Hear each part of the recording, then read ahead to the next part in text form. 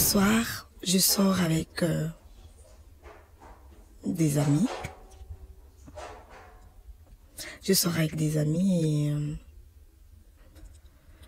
arrivé dans un bar euh, à Lille, mes amis m'abandonnent. À la fin, le bar ferme, je me retrouve seule, j'ai pas les clés. Ils sont partis, m'ont abandonné.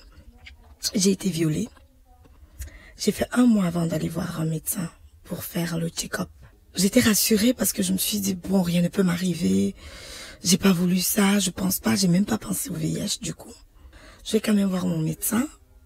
Il me dit, bah, tu as le VIH.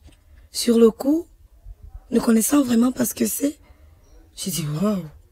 Une semaine après, je parviens plus à marcher. Je parvenais plus à marcher.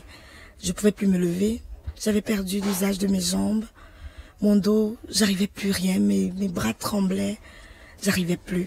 Du jour au lendemain, j'ai été violée. J'ai eu le VIH. J'arrivais plus à marcher. L'usage de mes mains, j'arrivais plus. Rien ne marchait. Ma tête, rien, je comprenais plus. Que ce soit partout dans le monde entier, c'est très difficile de vivre avec ça. Parce qu'autour de ça, il y a la discrimination, il y a le rejet. C'est ici à Aide que tu te sens, que moi, je me sens bien. Cette association est formidable.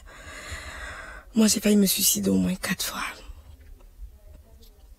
Mais quand j'atterris, quand je viens ici, dès que j'ouvre cette porte, on dirait que je me sens en sécurité. Je me sens aimée. Et ça, c'est formidable de trouver des gens en face de toi qui ont la même pathologie, pathologie.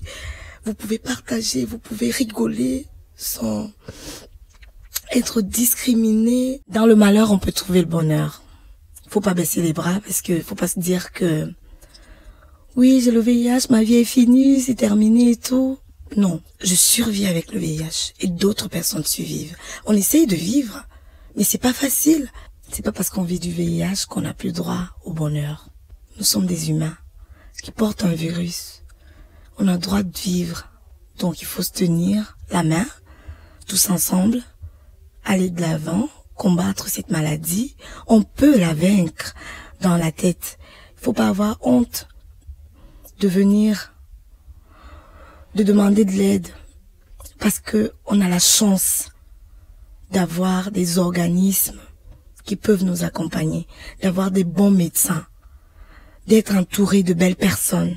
Ceux qui sont encore cachés, qui ont encore peur, qui ont encore honte, sortez de vos trous, venez à aide.